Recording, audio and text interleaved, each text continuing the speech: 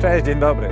Dzisiaj chciałbym zaprosić Was na pokład mojego jachtu i stąd pokazać Wam wyjątkową lokalizację inwestycji Sol Marina. Jak już Państwo wiecie, pierwsza taka prywatna i najnowocześniejsza marina nad Zatoką Gdańską powstaje przy nadbrzeżu Martwej Wisły nieopodal Wyspy Sobieszewskiej. Ogromnym atutem tej nadmorskiej dzielnicy jest doskonała komunikacja z oddalonym zaledwie o 15 km centrum miasta. Wyspa znajduje się w niewielkiej odległości od trasy krajowej S7 łączącej Warszawę z Gdańskiem. Stałą komunikację z Sobieszewem zapewnia most stulecia odzyskania niepodległości Polski, potocznie zwany Sobieszewskim, przez który prowadzi najkrótsza droga do Krynicy Morskiej i na Mierzeję Wiślaną. Jest to droga wojewódzka nr 501.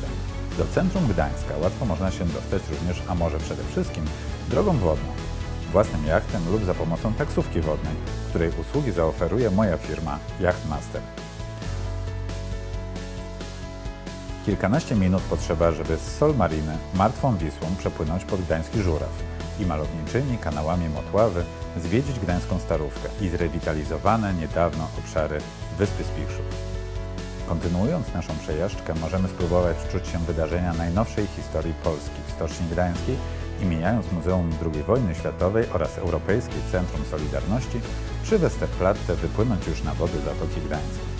Stąd blisko do wszystkich atrakcji, które oferują okolice licznych przystani Trójmiasta. Otworem dla podróżnych stoją też tawerny Półwyspu Helskiego, Kuźnica, Chałupy, Jurata czy wreszcie sam Hel.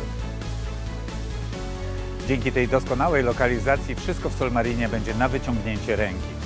Nic więc dziwnego, że Wyspa Sobieszewska wyrasta na nowy, najmodniejszy rejon Gdańska. Zapraszam.